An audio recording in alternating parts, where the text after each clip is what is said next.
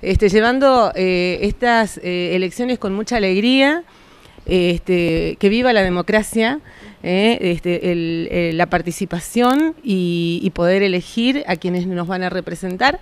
Y bueno, en este caso a mí me toca estar esta vez de este lado por, primera vez a nivel provincial.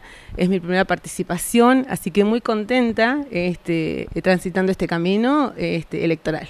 Vivimos tiempos difíciles ¿eh? tiempos de crisis, este, eh, de mucha ruptura social, ¿eh? por, la política, por los pensamientos, por las ideologías.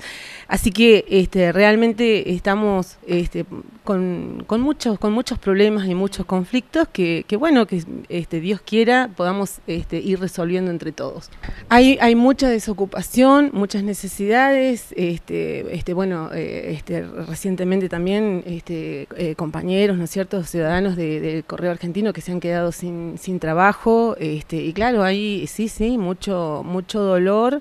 Este, a causa de, la falta de trabajo. Nosotros tenemos una elección el 9 de junio este, y es la gran oportunidad porque somos nosotros, ¿eh? somos nosotros los ciudadanos que elegimos, ¿no es cierto?, cómo va a seguir nuestra vida eh, en adelante.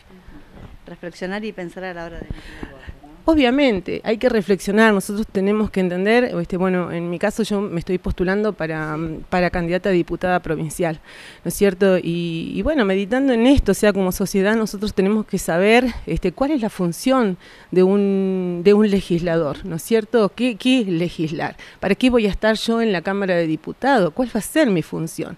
¿No es cierto? Y una de las funciones no solamente es, pronunciar y es analizar este, las leyes, sino también representar al ciudadano. Este, este, poder eh, de alguna manera también acompañar este, a, las diferentes autoridades, ¿no es cierto? Ser un controlador.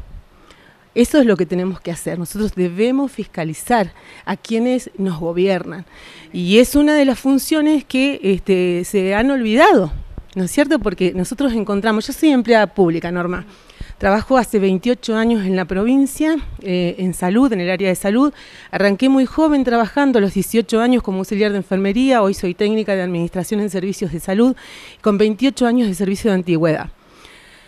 Este, así que se imagina usted eh, cuántas cosas como, como, empleada, se lo digo, he tenido que este, vivir, no solamente las injusticias, este, la violencia laboral. Y violencia laboral es algo que se vive en las reparticiones públicas. Entonces, ¿por qué se vive eso? ¿No es cierto? Entonces, si yo analizo, y eso quiero también compartirlo con la gente, nosotros elegimos a nuestro gobernador, nosotros elegimos a nuestros diputados, elegimos a nuestros intendentes, a nuestros concejales.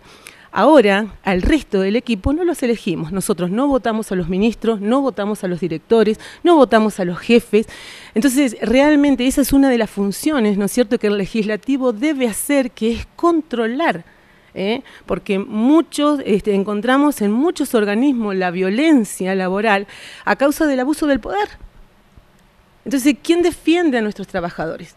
Eh, a mí, pero lo digo aparte este, como empleada, porque lo he vivido. Eh, y muchas veces como empleada tener que recurrir, decir, bueno, voy al gremio para que me defienda, pero a veces el gremio no me puede defender. ¿Y quién me defiende? Bueno, este, realmente creo que nosotros debemos tener conciencia que a la hora de estar votando estamos votando, ¿no es cierto?, a, quienes nos van a representar, a quienes tienen que respondernos, a quienes tienen que, tienen que eh, abrirnos la puerta cuando nosotros vamos y la golpeamos.